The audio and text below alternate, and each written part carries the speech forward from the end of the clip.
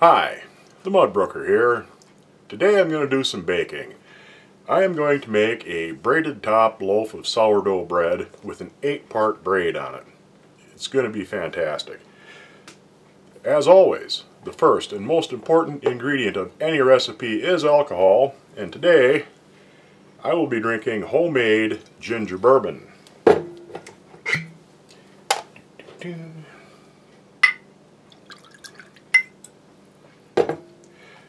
Would like to thank my patrons on Patreon, Eileen Edge, Benedict Riggers, Kays Kist, Damian Bamer, Dan Sturgill, Joy Jones, Leo, Randy Dorn, Sue Beck, Theodore Engelkey, Tiarna Jenkins, and Valentine Tolman. Here's to you guys. Your support is greatly appreciated. Oh, that is fantastically good. Anyhow, as much as it pains me to use the metric system, this recipe is done by weight in grams. I haven't had the time to sit down and convert it into measures, units of measures that God intended. So, you're going to need a scale set to grams. There we go. Put that on there and zero it. And you start off with 400 grams of water.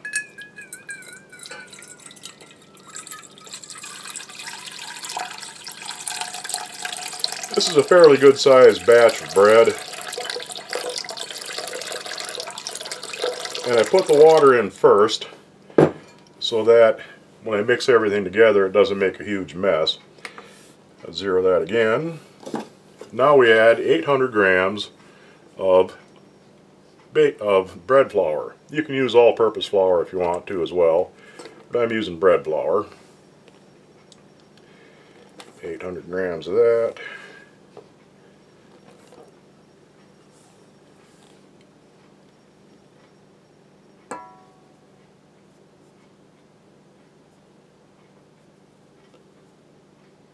I should really sift this, but I usually don't, just because I'm that sort of a guy. Ah, come on, just a little bit more. Okay, there's 800 grams. Now, this is where I depart a little bit from, well, not quite yet. I have to add some salt. Where'd that go? 10 grams of salt.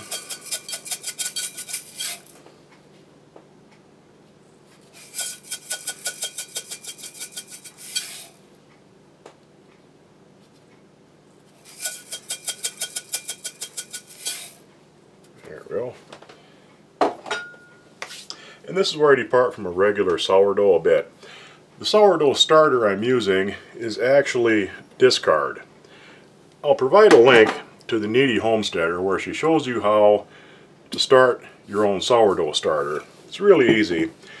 But as you feed your starter, you typically pour some off and you can use it for other things or throw it away. And you use a more active starter for bread baking. But in this case, I'm going to add yeast, and I'll explain why later. And I'm going to use basically what would be discarded anyway because it has a much more intense sour flavor to it. I gotta let that dog in as soon as I get this put in. I'm going to use 320 grams, zero my scale, of sourdough starter.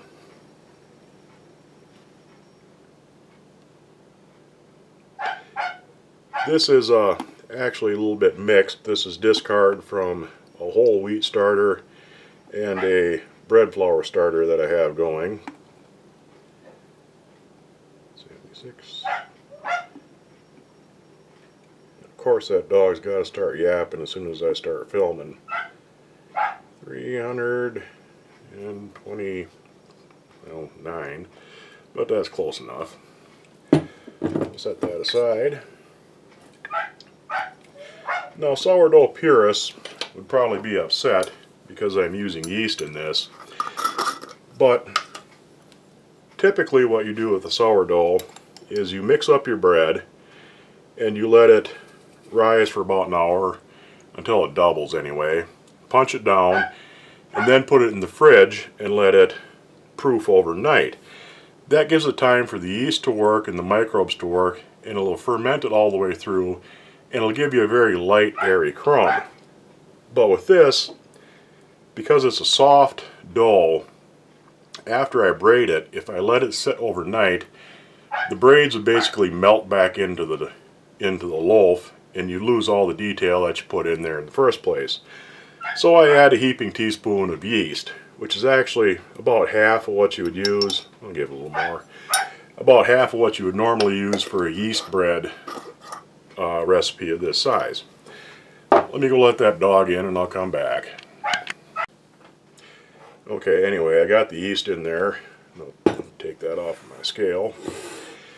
I'm also going to add about two heaping tablespoons of butter. The butter helps to make the dough more elastic and it makes it easier to roll out and braid later. So, just mix that in.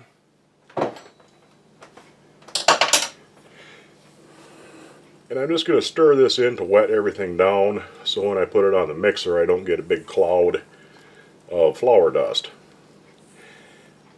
Normally I let it knead on the mixer for about five or six minutes for most yeast breads. But for this, I'm going to go ahead and let it knead out for about 20 minutes. And that really works it through nicely and you get a nice, very soft, a little bit sticky dough out of it.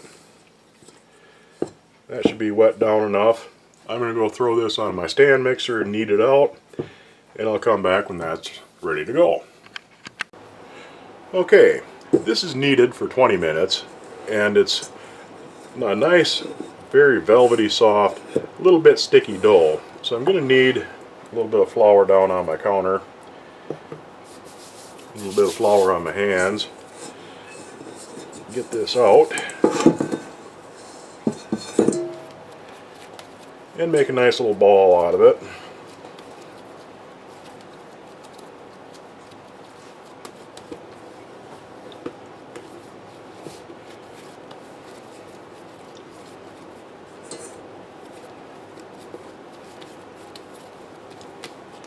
kind of pinch the bottom together a little bit. It doesn't have to be really good.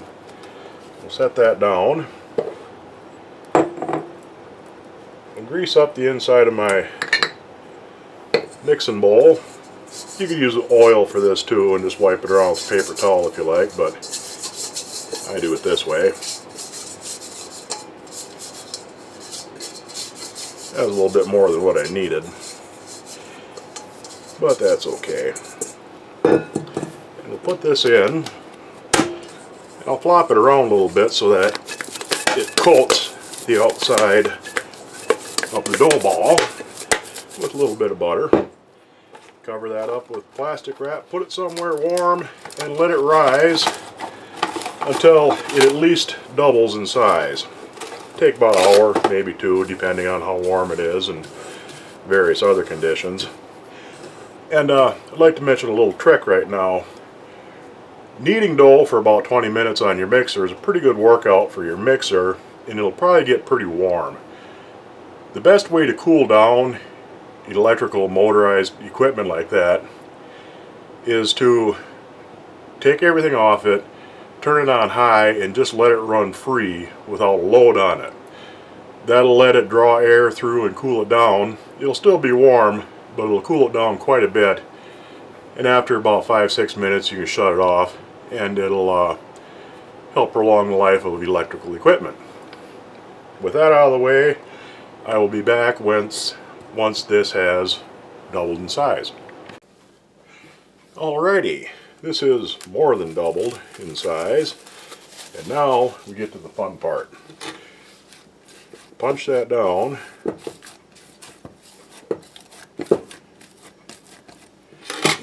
And get a little bit of flour out.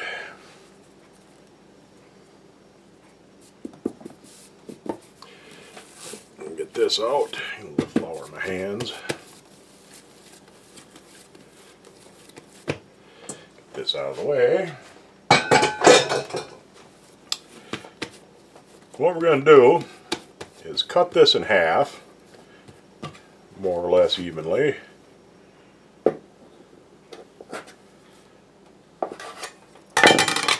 Set half of it aside and put half of it into this oval cast iron roaster.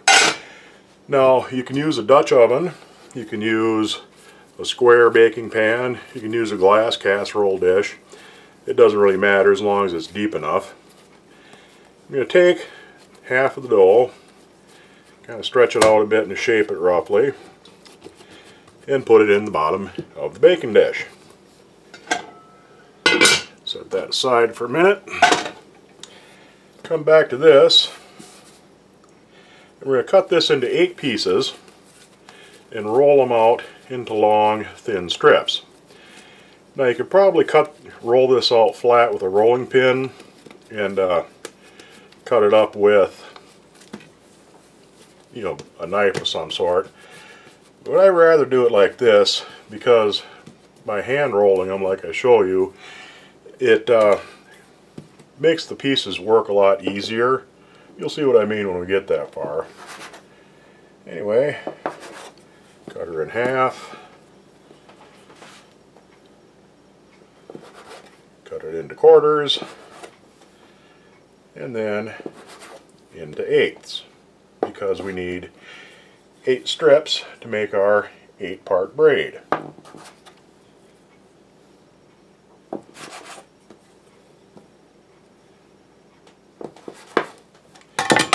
There we go. Now, a little more flour on my hands.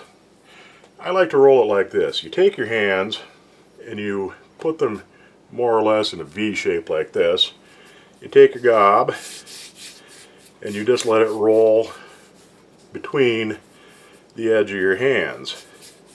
And as you do that, you kind of let some fall on out into a long thin strip like that. And you just keep doing that until you got it rolled out. I'll stop the camera because you don't need to watch me roll out eight of these things. But you see what's going on. And I'll be back once I got these all rolled out and we're ready to start braiding. Okay, I got my strips all rolled out. They don't have to be perfectly even as long as you don't have any ridiculously thin spots in them. And now I'm going to show you how to do an eight part braid. Now that might sound like a macrame nightmare, but it's really very easy. You want to think of this as two groups of four and we will pinch these ends together here so we actually have two groups of four. Start with the farthest strand on the left. You go over the strand next to it, then you go under the next strand, over the next one, and under the next. That, that will put this outside strand here into the group of four on the right. Then you start on the right with the farthest one and you do the opposite. This time you start off going under, then over, then under, and then come here you over. And you've done the same thing. You've taken the outside and moved it to the inside. Then it's just a matter of repeating yourself. You go over, under, over, under. A little bit of space back in these guys. And then you go under and over, under and over. Get your four reorganized here. And you just keep right on repeating that. Over, under, over, under, under, over, under, over, over, under, over, under, and under, over. I want to be under that one, over that one, over, under, over, under, under, over, under, over. Once you get down to the end, you'll kind of start running out, but work them in as best you can. Over, under, over, under, under, over, under. I'll just flop this guy over and this guy here under. And we'll pinch that together a little bit. Pinch this end together a little bit. And now comes the tricky part.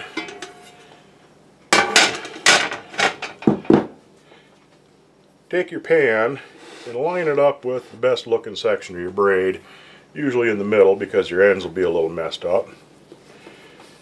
And then pick up the whole works and set it on the dough in the pan. I lost my knife. Cut the end off.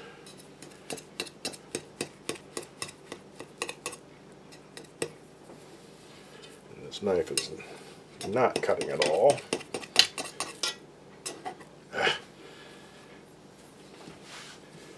Cut the end off the other end.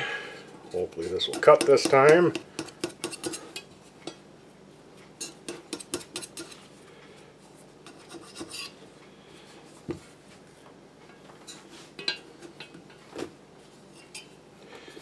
Set these aside a little bit and kind of spread this out a little bit and arrange it if it needs to be adjusted some. Then I'm going to take see that. I'm going to take these two balls of dough, knead them together, and I'm going to roll these out into long thin strips, just like we did with the rest of it.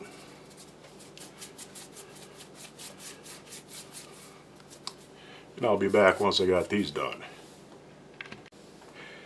Okay, now that I had these rolled out, both of these pieces are long enough to reach all the way around the outside of my pan. What I'm going to do is take them and just twist them around each other.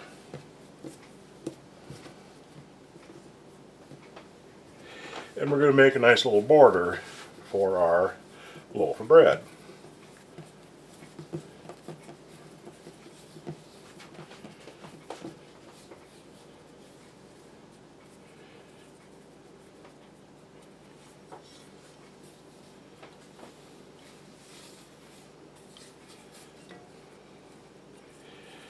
Just lay that in there.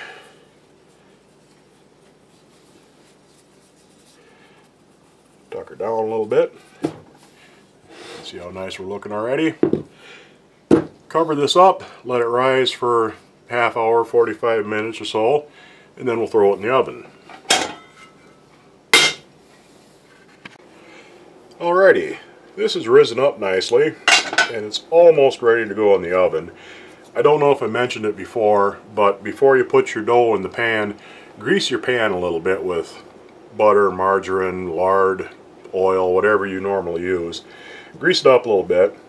I have my oven preheated at 375. I'm going to give this a little egg wash. Egg wash is just an egg beaten with a couple of teaspoons of water. We'll brush this on nice. Now normally for most yeast breads I bake them at 350 for about 45 to 50 minutes. This has a fairly high water content so it takes a bit longer and I bake it at 375 for about an hour generally. We'll see how it goes. But getting all the little nooks and crannies there without puddling it up too much. And I'm also going to try, for the first time, to bake this covered at first. A lot of sourdough bakers put it in a covered pan at first and then uh, uncover it for the last half of the baking time.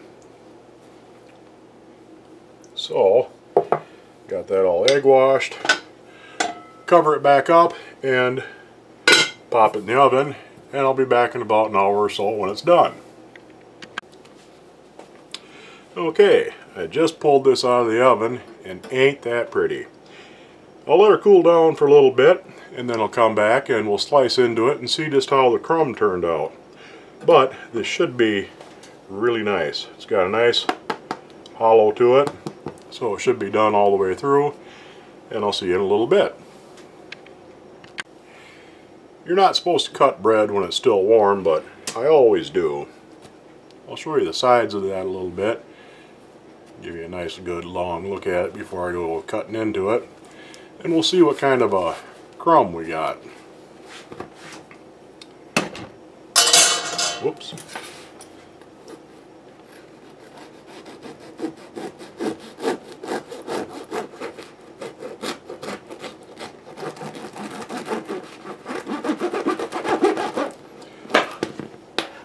Oh yeah. Looky there. Up nice. That's done all the way through. And give her a little taste here. Mm. It's got a real good sourdough taste. By using that pour off, I usually let it sit overnight before I use it.